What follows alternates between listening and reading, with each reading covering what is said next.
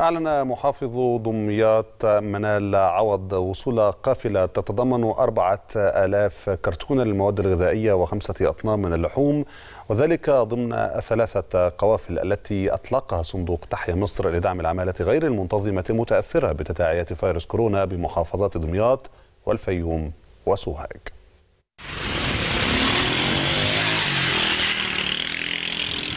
بيقدم لنا صندوق تحيا مصر لحوالي 4000 كرتونة مواد غذائية و5 طن لحوم مجمدة و20 طن بطاطس طازجة. الكميات دي هتتوزع بالتنسيق مع مديرية التضامن الاجتماعي بدمياط هتوزع على الأسر الأكثر احتياجا في القرى وهتوزع على أسر العمالة الغير منتظمة. منسقين الصندوق تواصلوا معنا من حوالي أسبوعين.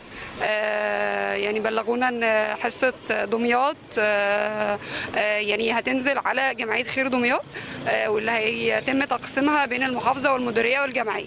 فوالله شكرا جزيلا إن أنتم خصصتوا لينا الكمية دي.